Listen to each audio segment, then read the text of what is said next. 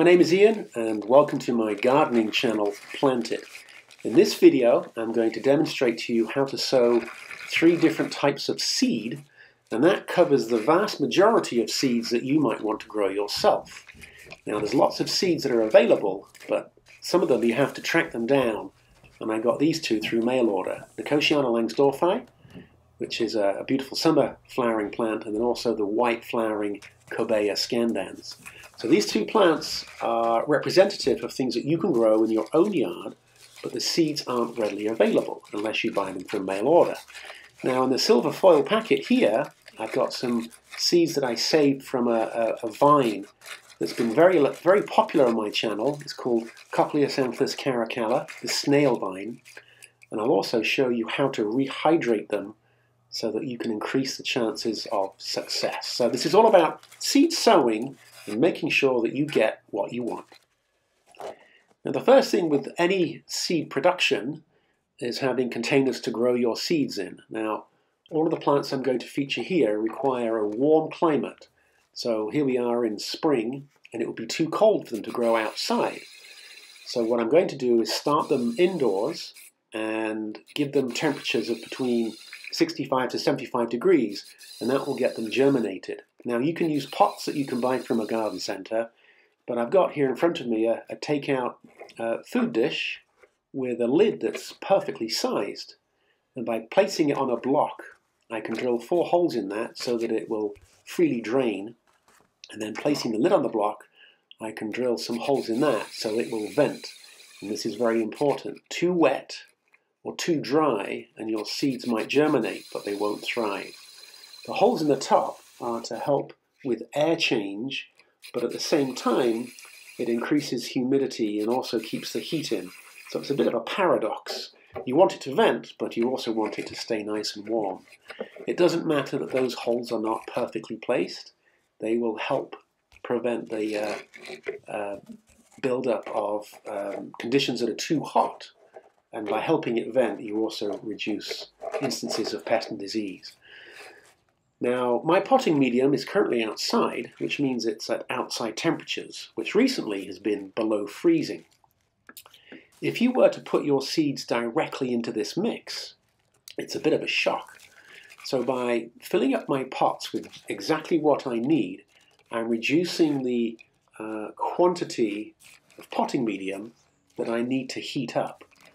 And you'll notice that I'm not packing it in there super tight. It's just a, a very easy and gentle way to fill the container and keeping it loose. Now I'll show you ahead how it does get firm down but never ever compressed. So get in the habit of treating your growing medium with kid gloves. It wants to be like a loaf of bread, not compressed, but with lots of pore space so that oxygen and water can get into that growing medium. And then with these containers, you should place them in a nice sunny, warm location for a few hours. This increase in temperature makes the environment in which you place your seeds much more conducive to rapid germination. Now let's have a look at these seeds. Before you buy them, either mail order or in, in the hand in a garden centre, do check the back of the packet. There's lots of tips and tricks on there about what the plant needs and how it should be grown. Not only when you plant it out in the garden, but also the temperature that's required for it to germinate indoors. And you can see here that we've got 65 to 75 degrees is ideal for this packet of seed. And in fact, that 65 to 75 is going to be representative of the, num the temperature you need for the vast majority of plants that you might want to grow. It also gives you germination times, a time frame when you can expect the plant to put out beautiful roots. This is our first subject. This is Cobaea scandens alba, the cup and saucer plant. Now the alba is a little bit choice. It's not readily available. And for this, I'm going to use my, my takeout tray. Remember, I put holes in the bottom so that it can breathe nicely. And what I want to do now is prepare the bed so that I can start to spread out my seed uh, I don't want it too compacted. In fact, I don't want it compacted at all. But I don't want it too loose either. So there's a nice happy medium where you get maximum amount of uh, growing medium surrounding the individual seeds. Now, I always tear off the top of the packet, and that yields to me the label. Now, you need to make uh, sure that you keep that safe and make sure that you either write a label for your tray or you keep that label in the tray so you know what you've got. Now, this particular seed is easy to handle, but they're very thin and would blow away if you did this outside. And I've had plenty of people sow seeds and suddenly in a gust of wind they're gone. And all I'm doing here is spreading out probably just over half the packet. And I don't need any more than that. If I've got 20 or so seeds, if I've got 20 or so seeds here, and I get 10 germinate, that's still way more than I need. And this is the discipline. Don't feel that you have to sow and grow every seed in the packet. Now, because these seeds are a good size, using my little label, I can move them around to spread them out and make sure that they've all got space in which to germinate. This is very easy with larger seeds. It gets a bit tricky with some of the smaller seeds. So that's our, our tray of cobaea. And then rather than using a watering can, do invest in a little sprayer. And you can very easily add a small amount of water to just the right location. And you want to make sure that the seeds are dampened and then the growing medium around them so that they can start to rehydrate. So this is our cobaea. And you might find that there's a little bit of settling and you can then add just a fraction more growing medium on top of your, your plant bed. Many packets, and I think it's a bit old-fashioned now, will say plant half an inch deep, which for the majority of seeds is just not required. That's not how they would grow in nature they would fall to the ground and they would root and germinate. So many seeds just need a layer of growing medium, not for them to root into, but to prevent them from drying out. So this very shallow layer is with that in mind. Remember that the first root will grow out and it will grow down. It will grow into the soil. And don't forget to add a little bit more spray to get that growing medium nicely hydrated, evenly and throughout. And that's a term that I've mentioned in many of my videos. Hydration is all about available water, not quantity. Once I've got my layer on top, using the upside down of my lid in this case, and there's anything you could use anything, just give it a very gentle firm.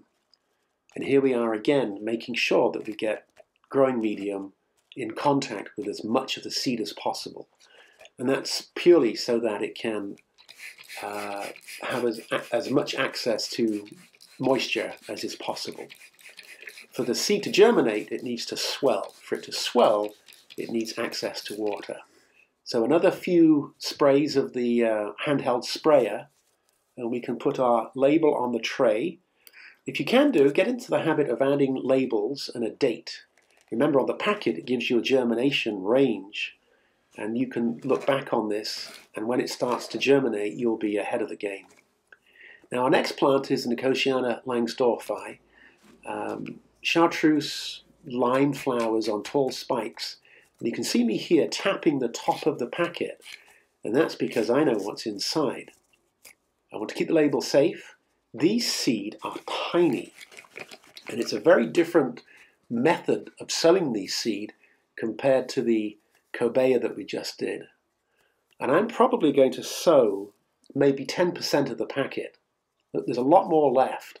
And they're, because they're so small, they hardly weigh anything. And all I'm going to do is put the small amount in the palm of my hand, and it's as if you're pinching salt. You want to get maybe 10 seeds or 5 seeds, and as you sprinkle around the pot, move your hand, and you want to avoid clumping. Now I'm probably going to get 20 or 30 seeds germinate, which is ample for my application. If I put the whole packet in there, uh, the caliber of seeds and the health of the germination would be compromised because they'd be overgrown. Here you see me adding more water, but you'll notice I'm not putting any growing medium on top because the seed is so small, they don't need it. All they need is the spray bottle to wash them into the growing medium. Now I found that these little freezer bags are the perfect size to go over this pot And all I do here is cut off the corners, and this is to aid ventilation. And then this little bag, you can, it's a tight fit. Start at one side and work your way around. And what you're doing is you're making a little enclosed environment that helps keep in the temperature and also increases the humidity. Not increases it, but stops it from drying out. And this environment I found is very conducive to having seeds germinate. The ventilation is important. If you put the bag on there with no holes in it, you can find that you might get um, fungus or what's called damping off. Go through the seeds, which are very tender and fragile, and they will fail. And of course, you don't want that. So that ventilation is important. Now, this is the corkscrew vine or Cochliasanthus caracalla I've done videos on this. Look through the back catalogue and you'll see how beautiful this plant is. I rarely see it for sale, so when I can do, I will collect viable seed from the plant last year, as you see there in this uh, foil packet that I made. And um, what this plant needs, I found, and many seeds will benefit from this, particularly if they're larger, is that they are very dehydrated. It's a dormant stage that the plant has adapted to to survive from one growing season to the next. Now in the cup I've got hand warm water. It's not boiling at all and it's not cold, it's hand warm. And you can put the seeds in there, swirl them around, give them a bit of a spin, and if they stay in there for a few hours, you'll be amazed how much they'll swell up and can start taking on water. The reason we do this is that we want to have prompt germination. And anytime we can get a, a seed to put out a root quicker, that means it can put out a shoot quicker, and its chances of surviving are greatly increased. Now this has been in the jar from two or three hours, and you can already see that I've got one that has swollen up and is starting to break out of its skin. So this is, this is looking good. Um, now if I can get three or four to grow from this packet of seeds, I'll be delighted. I might get 10, I could get 12, who knows? But it means I have more plants to give away to gardeners that pass by my little courtyard. And because these are hand, they're the right size for you to pick up by hand, I can place these individual. And rather than the tray that I used before, I'm putting six or seven in each pot. Uh, maybe a few more than that. Just make sure that you place them equidistant so that they all have a little bit of space. And this makes it much easier when they are all germinating and you need to take them out of this pot.